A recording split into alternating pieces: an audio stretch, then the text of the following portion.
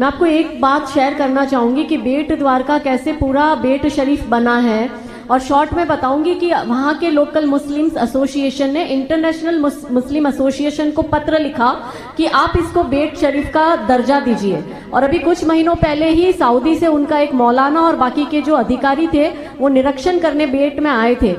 जब आप पहले तो है ना कॉन्सेप्ट समझिए, दरगाह अलग होती है, मस्जिद अलग होती है। दरगाह व्यक्ति विशेष पे होती है, मस्जिद उनके भगवान की ही होती है।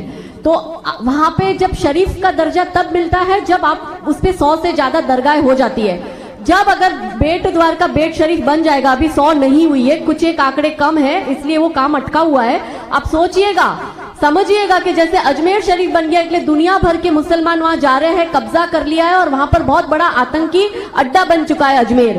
उसी तरह से जिस दिन बेट द्वारका को बेट शरीफ का दर्जा मिलेगा तो आप गुजरातियों सोच लेना। कि बहुत बड़ी क्रॉस लगने वाली है आपके अपने प्रवास पर, अपने अपने भगवान के मंदिर जाने के लिए और वहाँ पे सिर्फ़ जिहादी जिहादी जालीदार टोपी में दिखेंगे और आपका जो कृष्ण भगवान आज हम जय श्री कृष्ण तो करते हैं, पर अपनी कृष्ण नगरी को ही हम नहीं बचा पा रहे हैं। तो हम उसी कृष्ण नगरी में जाने के लिए मुझे लगता है कि दस एक वर्षों में तो आपको लिटरली वीज़ा लेना पड़ेगा। एक और बात मैं कहती हूँ कि अभी बहुत से लोगों ने प्रश्न करा, भाई मेरा भी प्रश्न आपसे ये है, भले मैं यहाँ पे हूँ लेकिन, कि हम लोग ने बहुत प्रयत्न करे, बहुत हिंदू संगठन बहुत लड़ रहे हैं, बहुत प्रयत्न कर रहे हैं। फाइलें तैयार करते हैं, एक छोटी टेबल क्लर्क की सेकंड क्लास ऑफिसर की टेबल से लेके सीएम तक धक्कों पे धक्के खा रहे हैं। पेट्रोल इतना खर्च कर रहे हैं, जूते अपने घिस रहे हैं, मगर कार्य नहीं हो रहा है। मेरे आँखों देखा, मैं आपको बात बताती हूँ कि रेवेन्यू मिनिस्टर की और आर एन बी डिपार्टमेंट के मिनिस्टर की सेकेंड क्लास ऑफिसर नहीं सुनता है, वो मेरे सामने फ़ोन पे ऑर्डर देता है कि अवैध दरगाह पर एक्शन लो, वो एक्शन नहीं लेता। और यही राजकोट में चीफ इंजीनियर बैठा है, वो मनी मंदिर मोरबी का।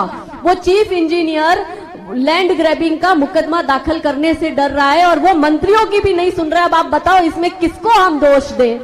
तो प्रॉब्लम यह है कि अभी जितनी संख्या यहाँ बैठी है, क्या उतनी संख्या मेरे साथ अभी इसी वक्त, आज की रात ही, अमावस की पूरी रात मेरे साथ धरना देने के लिए तैयार है, मोरबी चलोगे अभी, मैं सबसे आगे चलूँगी। पूरी रात धरना देने को तैयार हो। देखिए आप है ना, सब सब चीज़ें सरकारों पे नहीं छोड़ सकते हैं। हिंदू जब तक एकत्रित होकर हिंदू आंदोलन नहीं करेगा और हिंदू अपनी संख्या अपने आंदोलन में नहीं दिखाएगा, तब तक तो माँ भी उस बच्चे की नहीं सुनती।